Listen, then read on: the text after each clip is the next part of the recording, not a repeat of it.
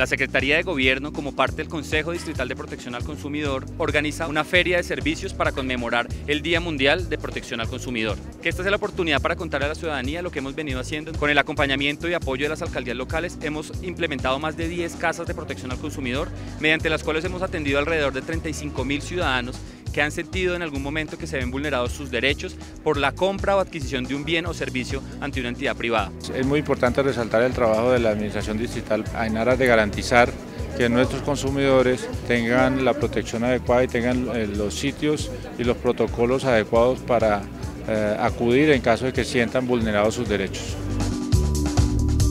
Me parece bueno porque acerca a la gente con eh, las entidades que nos gobiernan. Se acerquen y estén pendientes porque realmente es un beneficio para todos los consumidores que somos. Es importante porque nosotros no conocemos nuestros derechos. En estas casas de protección al consumidor, con el apoyo de entidades como la Superintendencia de Industria y Comercio y la Superintendencia de Servicios Públicos, podemos prestar un servicio oportuno a la ciudadanía, recibir sus quejas e inquietudes, podemos recibir también con las alcaldías locales las denuncias que hagan los ciudadanos sobre una mala práctica o una mala operación de un establecimiento de comercio y tomar las medidas correspondientes para garantizar que los ciudadanos vean garantizados sus derechos como consumidores.